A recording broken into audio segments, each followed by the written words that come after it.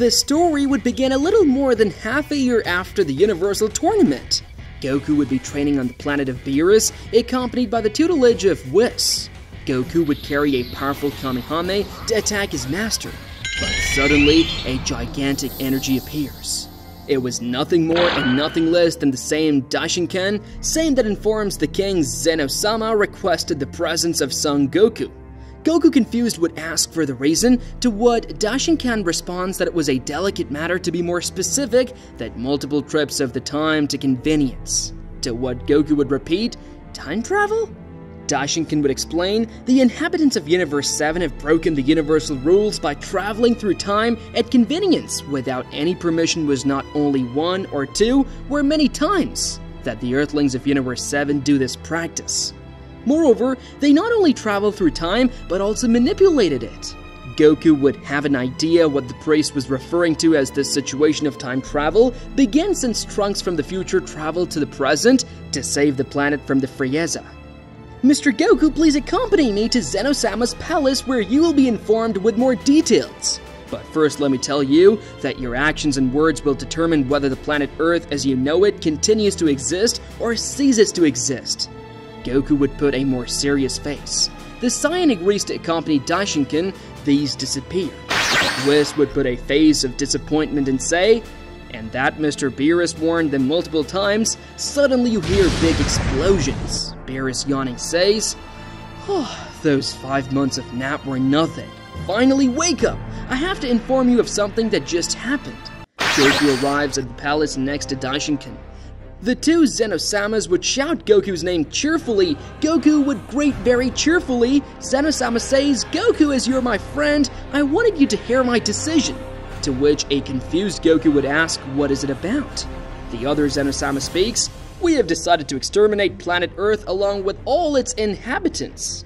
Goku nervously says, But why? Zenosama explains, The constant violations by time travel to convenience are being a problem. But why do you say that Zenosama? Thanks to time travel, I was able to find you a good friend. The two Zenosamas look at each other and at the same time say, You're right! Daishinkan says, That's right, I thank you again for that. That's the reason why they were not punished. However, in this last month alone, eight new time travels from planet Earth have been recorded, and as a consequence, it has left many open gaps in spacetime. Goku repeats, Gaps? To which Daishinkan would explain with a more serious tone, Yes, these gaps are connected to Universe 7 with somewhere else in the multiverse. This could cause a universal catastrophe. Daishinkan proceeds to open a holographic map showing multiple universes of other multiverses being affected among them, Jujutsu Kaisen. Goku asks Zenosama as a favor not to wipe out planet Earth and offers to fix the problems that have been caused. Zenosama would think about it for a few seconds and then accedes to Goku's request. Zenosama says, As we are friends, I'll give you the opportunity to fix this mistake. But let me warn you that the more time passes, the more breaches could disperse throughout the Universe 7 and would no longer only solve the problem by eliminating the planet where these anomalies come from, but would also have to eliminate the entire universe. Daishinkan would explain to Goku that he would have to eliminate the new 8 breaches scattered throughout the multiverse, and if he succeeds, he will be able to return to his universe. Daishinkan would explain a little more about the universal problems that could occur if nothing is done immediately, Goku would only understand that he would have to destroy the eight breaches to keep his planet safe. Daishinkan opens a portal. Daishinkan says, and this world is the first gap. Goku walks towards the portal, but before entering, Daishinkan says some last words. Mr. Goku, if you were to die in any of these worlds, let me tell you that everyone will forget the memories they have with you. Your existence will disappear completely as if you were never born. Goku looks with a worried face to Daishinkan. The Saiyan looks at the portal saying, Very well, I will go. Goku enters the portal, and the Saiyan arrives at the world of Jujutsu Kaisen. Goku would be in Tokyo near the Jujutsu school and facing Yuji Itadori and Satoru Gojo. Who are you? On the other hand, Whis was informed with the greatest detail of all the facts by Daishinkan. After Whis passed the information to the god, these decide to go immediately to planet Earth, to be more exact, to the Capsule Corporation. Vegeta is the first to see them. But if it is Whis and Beerus, Beerus says, Vegeta, I need to see Bulma. It's urgent, so hurry up. Vegeta would ask why they wanted to see Bulma. Beerus, with a serious face and somewhat angry, would say, Obey! Bring Bulma immediately. Vegeta would obey, remaining intrigued. Bulma appears. Bulma says, Ah, but if it's Mr. Beerus and Mr. Whis, is something wrong? Vegeta would feel a threatening aura. Whis would warn Bulma to watch her words and answer with all sincerity. Bulma would get nervous. Beerus asks, Are you the human who has been traveling through time constantly? Bulma would get very nervous and try to deflect the conversation. Beerus seriously says, Answer! Vegeta would feel Beerus's threatening ki. Vegeta shouts, Bulma, answer Mr. Beerus's question! Bulma admits to having traveled in time for several times this last month. After that, Bulma would make many complaints, even blaming the god for stupid things, and at the end, she offers him a lot of food as an apology. Beerus approaches Bulma and slaps her, gently slapping her face aside. Vegeta is shocked to see such a scene being on show. Whis warns Vegeta to think twice before taking any action. Bulma gets angry and lashes out at the god. Beerus raises his hand, producing Hakai energy aiming at Bulma's face. Vegeta shouts, What do you plan to do, Beerus? I've already endured many times your stupidities. Who do you think you are to disobey me or raise your voice to me? Remember that I'm the god of destruction of this universe. Vegeta would ask nervously what was happening and why all this so sudden. Whis would explain. Mr. Vegeta, remember that you were warned several times by Mr. Beerus and me about time travel?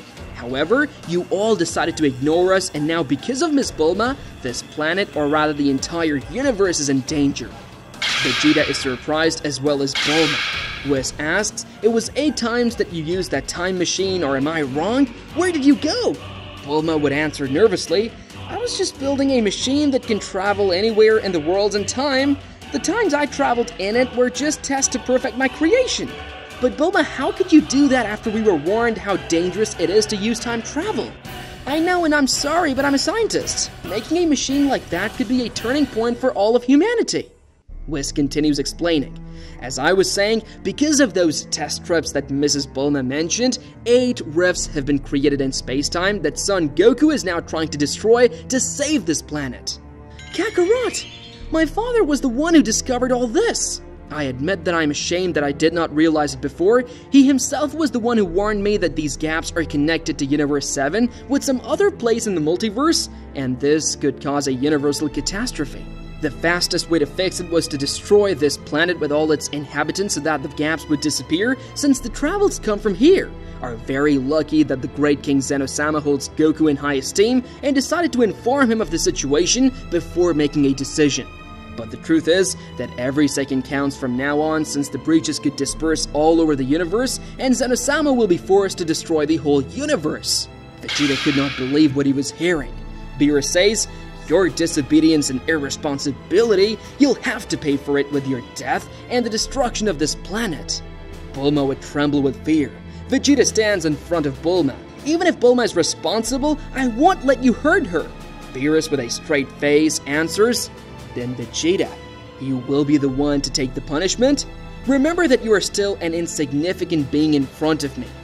Whis explains, if Universe 7 disappears, Mr. Beerus also disappears, that's why he's so angry. Beerus lowers his hand.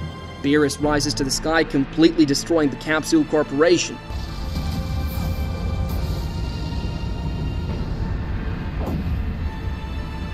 Let this be the last time idiots like you disrespect me like this.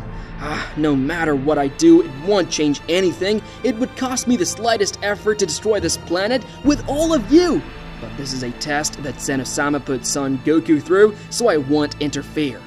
Everything is in Goku's hands again. Bulma, if Goku fails, consider yourself the human who sacrificed all the lives of Universe 7 for a stupid machine. Bulma would be on her knees. Bulma says in tears, I never thought to cause all this. Vegeta asks, Tell me what could happen if the breaches are not closed. As I said before, the gaps are connected to other worlds very different from ours outside of our multiverse. If nothing is done, beings from another multiverse would easily enter ours, beings with totally unknown powers as well as their intentions in other words. We could be heading for a multiversal war. That is why if one or all 12 universes must be eliminated, Zeno-sama would not hesitate. Beerus says, Whis, let's look for the breaches. Will you look for it? That's right, the eight breaches should still be on this scattered planet even if we can't destroy them. From here, we can work on trying to make them not disperse so quickly off planet buying time. Are you a sorcerer? Gojo would say he is not, as he had never seen him in his life. Goku introduces himself as he normally would to anyone. I come from another universe from a different dimension than this one. Gojo smiles. This sounds interesting. I'm Satoru Gojo and he is Yuji Itadori. It seems we have a shared problem. Gojo in his mind would think how strange the energy of the guy in front of him was. Gojo, you seem to be strong. Would you like to show me your strength by fighting me a little bit? Gojo had been interested in Goku's weirdness.